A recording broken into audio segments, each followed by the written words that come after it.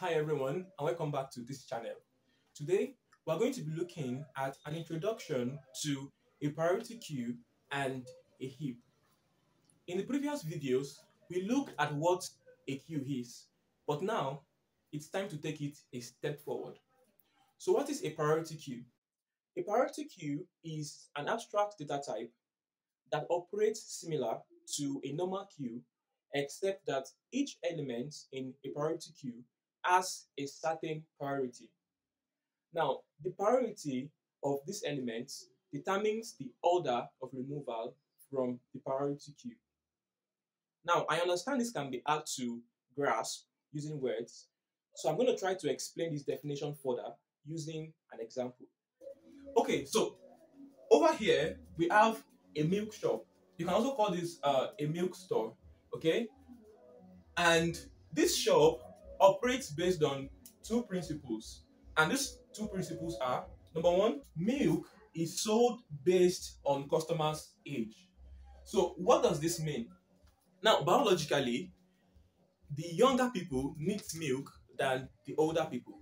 So, if the queue includes a man that is 40 years old and a boy that is 2 years old, the 2 years old boy will get milk before the 40 year old man even if the two years old boy arrived after the 40 years old man. Okay, so that is the first uh, principle. Milk is sold based on customer's age. So the second principle is that one customer at a time.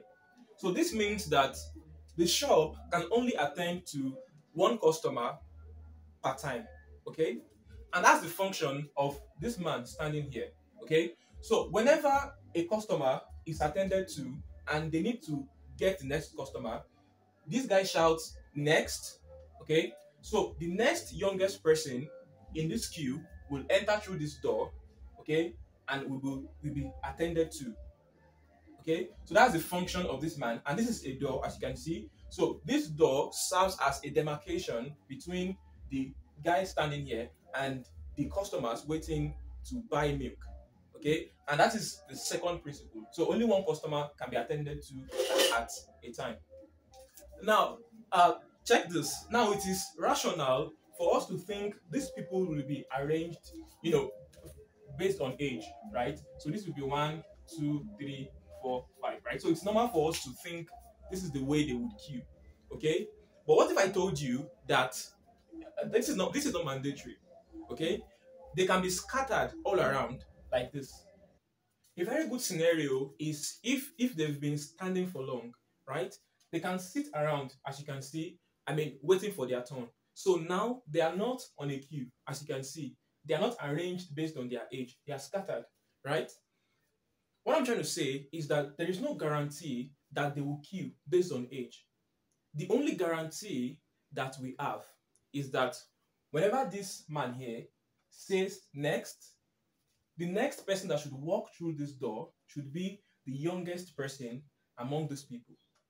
Okay, so that is the only guarantee that we have. We don't know, he doesn't have an idea of how they are arranged outside. Okay, all what he knows is that the person that should walk through this door should be the youngest person among the people.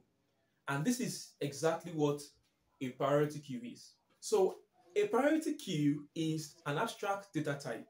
Okay, it understands that there are sets of elements and each element has a certain priority. And whenever you want to remove from those elements, you remove the elements with the highest priority. Okay, so in this case, we're using age.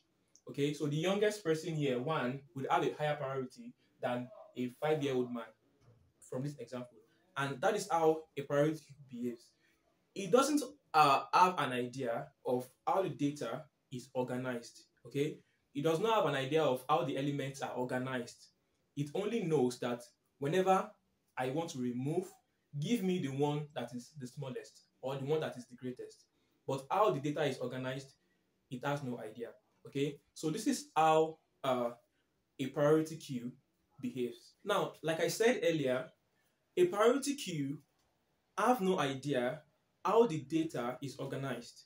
Okay, so we have to find a way to represent this data in the computer system.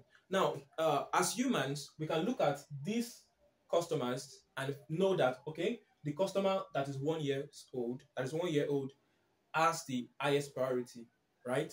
Is the youngest. But for a computer system, how can we rep- represent this in such a way that the computer can understand it? So the first data structure that you will think about as a developer is an array. Okay. So can we use an array? Let's check it out. You can see now we represented the age of the customers using an array. So these numbers represent the age of each customer.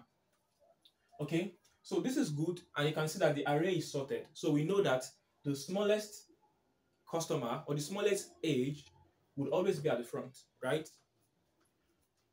But take note, we have to take note of something. If a new customer comes in, right, we have to constantly update this array. So let's say another customer comes in that is one year old. Okay, so this customer is one year old. Then the array would have to change to one, one, two, three, right? The array would have to change to this, right? So we have to constantly update the array. We have to constantly sort the array when a new customer comes in. Now this is good and we can go with this data structure. We can go with an array, okay? But we have to sort. We have to sort the array. So to sort an array, there are several algorithms that you can use, okay? But the time complexity, the best time complexity you can have is n log n. Okay, so this is the time complexity that you can get, okay, when you sort an array, n log n. Now, this is good uh, on average, okay, but why should we go with this when we can use another data structure that can give us a better performance? And that data structure is a heap, okay? So finally, we are looking at heap, all right? So with a heap, with a heap, you can sort the elements in log n. Okay, so you can achieve the sorting of the elements in log n. And this is way, way better than n log n. Okay, so now that you understand why we use a heap for a priority queue, let's dive deeper and understand a bit of how this looks like. Okay, so how is a heap represented? So let's check this out. So, what is a heap? Okay, this definition was gotten from Wikipedia and I really love it. A heap is a tree based data structure that satisfies the heap invariant, also called uh, heap property. If A is a parent of B, then A is ordered with respect to B for all nodes A and B in the heap. So what does this mean? Okay. Now this means that for the value at the parent node, okay, it is always greater than or equal to the value of the child nodes for all the nodes in the heap, or we can go the way around that the value at the parent node is always less than or equal to the value of the child nodes for all nodes in the heap. Okay, so this means that we're going to end up having two types of heap, right? So the first one here is the max heap, where the parent nodes are always greater than the child node. So 6 is greater than 4, right? 6 is greater than 3, right? 7 is greater than uh, 6, okay? So this is an example of a max heap. And the other way around is the minimum heap, or the min heap, sorry. So the min heap means that the value at the parent node is always less than the value of the child node, right? So 1 is less than 2, right? And as you can see, 2 is less than 5, okay? So 2 is the parent of 5, right? But 2 is less than 5. So this is an example of a minimum heap. So why are we interested in a heap? Okay, like I showed on the board the other time, a heap happens to be the data structure that we can use to implement a priority queue in the most efficient way. Okay, so this is why we are interested in the heap data structure. In the next video, I'm going to show you where and when a priority queue is used. And I'm also going to dive deeper a bit into the heap data structure. Okay, so you don't want to miss that. Alright everyone, that's going to be the end of this video for now. Please uh, don't forget to subscribe. Please hit the subscribe button below. Uh, I mean, that keeps me going. And if you have any question, if you have any suggestion or doubt, please put it in the comment box and I will definitely respond to that. Okay, um, see you in the next video. Bye.